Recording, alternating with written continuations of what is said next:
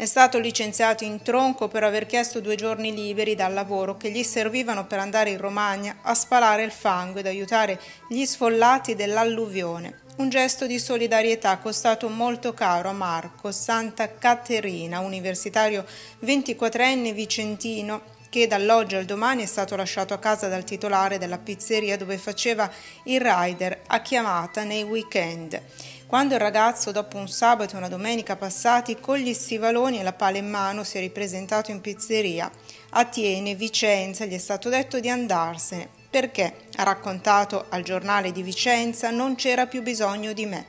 Ma lasciare senza parole Santa Caterina è stato il messaggio con il quale il titolare lo ha liquidato su WhatsApp. Non farti più vedere.